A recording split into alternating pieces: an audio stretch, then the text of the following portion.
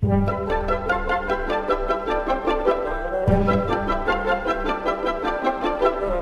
welcome, welcome. And to our non-English speaking viewers, welcome as well. I welcome you twice as hard. What we are about to virtually impatiently stand in is the county's first race-themed restaurant. Ever since a little kid, I've been fascinating with race. It's just something that is such a big part of our community and something that I think we shouldn't overlook. And you know, while some races are definitely better than others, we just have to realize that that's how it was always meant to be. Yep, dog racing, horse racing, cattle racing, it doesn't matter. That's what we're celebrating here and On Your Mark, Get Set, Munch. Please take off your shoes. Here at On Your Mark, Get Set, Munch, we want our customers to come in with depression-encrusted shoes and leave with non-lame ones. Take them away, boys. They'll be back when you're done with your meal. I feel like some squats are yearning to be popped, so I'm gonna sit down here and enjoy a good old-fashioned on your mark, get set, munch meal. Our meals are so good that we have seven court hearings because calling our food good is misleading, because they're all great. If you wanna have some condiments for your meal, we have some condiments right over here. You know, everything you might possibly need to put on your meal with your hands and or mouths. I'm just gonna sit over here, and I'm gonna use the tried and true cop and munch tactic, that's N with an N, Wow, now that's what I call consumption. After one is done with the whole concept of eating, they can make their way out to the terrifying depths of the real world. But first, they need to pay. After all, we're not a fucking charity. To highlight our employees' excellent high school education, all cashiers have is a pen, a piece of paper, and a sharp mind to give back correct change. Do you know what the square root of 1087 is? Well, if it is my old employee, Chef Kohler. Hey, Chef Kohler, what are we cooking up here? Just cooking up some fresh dough. Want to taste the nibble?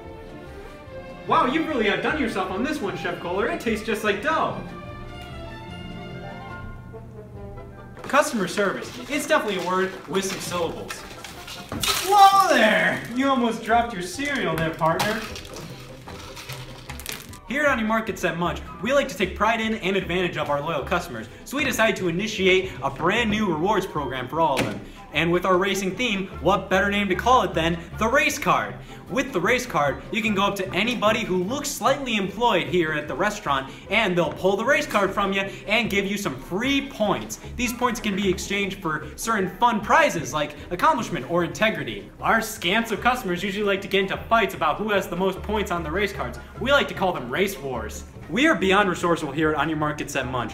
We use all of our resources to their maximum potential until they're completely used up. For example, in that room over there, we have 40 pounds of banana peels, and we're also still using a calendar from 2005. Also, we repurpose this closet as a waiting room for all of our customers. How are we doing in there?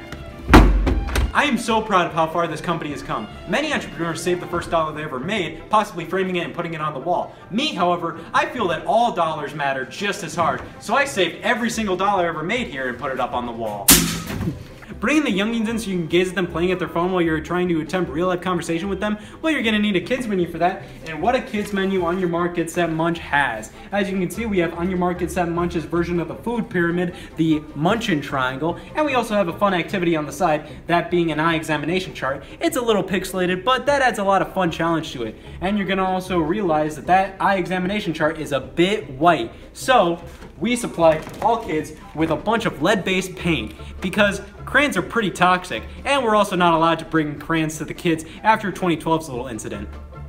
We take customer interaction very seriously here. How's it going? Do you smell that? That's what I call customer satisfaction. Also, a lot of smoke. Let's check back with Chef Kohler. Chef Kohler, what's going on? I thought you were just kneading dough. I was, and it just got out of hand. You always told me, Chef Kohler, there's no such thing as too much dough. Well, Chef Kohler, there is such thing. There is. Chef Kohler, these people are hungry. They need food now. You need to get back to the dough. You want food? The entire kitchen's on fire. Who the fuck cares? I the fuck cares. Just get a mop or something and clean all this up. We need food pronto. All right, sorry about that, guys. It can just get a little hectic maintaining a restaurant. Oh, hey, hey, hey, hey, hey, back. At this moment, I'd like to invite you to one of our county famous brainstorm sessions, which we hold with complete dominance and confidence. We're squealing out there, guys! The kitchen's on fire! It's still on fire to this very day. And our waiting room customers are getting antsy, so I propose we drill a few air holes into the waiting room itself.